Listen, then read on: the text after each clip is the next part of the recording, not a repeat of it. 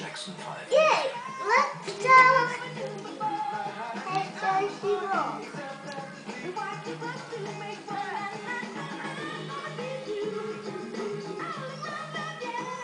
1969 schickt er die Band nach Los Angeles.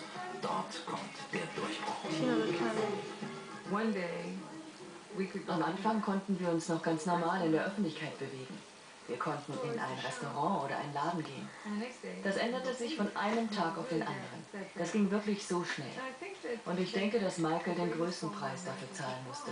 Er trug die größte Verantwortung. Von ihm erwartete man am meisten.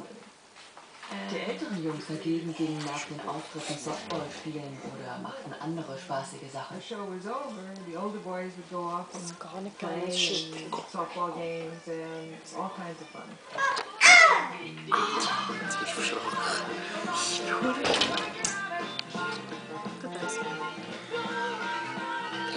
Hat ein Jahr besser. Michael never had Michael hatte nie die Freiheit, einfach loszugehen, zu spielen, zu rennen und rumzutollen.